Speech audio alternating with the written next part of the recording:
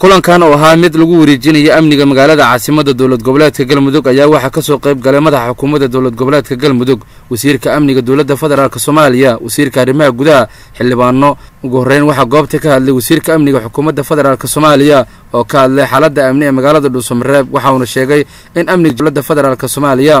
marka waxaan leenahay shacabka soomaaliyeed meel kastay joogaan waxaan gaarsiina fariintan ah iyo bulshada ku nool reer galmudug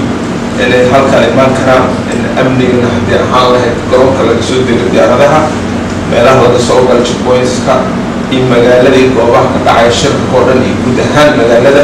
waxaa mas'uulka ah ciidamada federaalka qeybahooda kala gedisan marka waxaan mar labaad iyo mar saddexaad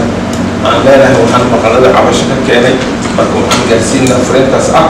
inaan diyaar u nahay inaan la wareegnay in sidoo kale ay mas'uul ka tahay dowladda federaalka soomaaliyeed. Madaxa xukuumadda dowlad goboleedka galmudug ayaa sidoo kale waxa uu sheegay in wixii maanta ka dambeeyey amniga magaalada dhuusamareeb looga dambeey doono dowladda federaalk soomaaliya. Dama federaal ayagoo ah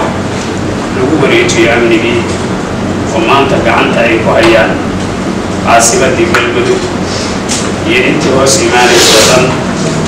amnigiina uu aad iyo aada u sugan yahay sida wasiirku uu sheegana mas'uuliyaddii hadda ciidamada federaalka laysku daray ayaa qaadaya wasiirkii amniga ayaan u fadhiya federaalka ayaa u fadhiya waxaana rajaynaynaa inay ku guulaystaan annaguna wax kastay nooga baahdaanba garabkoodana taagannahay waxaa mar haddii lagu wareejiyo mas'uuliyaddii wasiirka arrimaha gudaha xukuumadda federaalk soomaaliya cabdi maxamed sabriye oo sidoo kale dhankiisa hadlay waxa uu sheegay in amniga guud ee magaalada dhuusamareeb lagu wareejiyey ciidamada iyo sidoo kale laamaha amniga dowladda federaalk soomaaliya. Maalmahan dambe saddex afar maalmood waxaa miidiyada social mediada iyo xanta carrada taalla ahayd wixii xoogaa waa istaageen qaarna waa ku sii dareen waxay yidhahdeen gadaalay u noqdeen. Waxaan rabaa maanta halkaan inaan ka caddeeyo hawshii laga hayay galmudug oo dowladda federaalka iyo dowlad goboleedka galmudug ay wadeen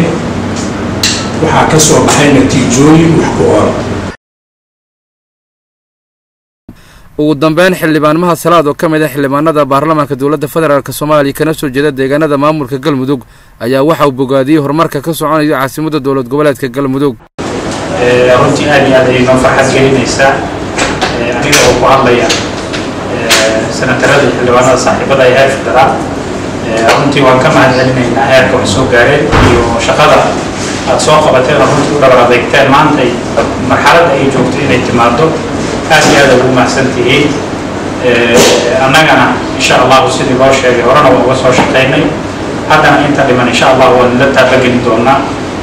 Ka xildhibaan ahaan annaga diyaar ayaan u nahay.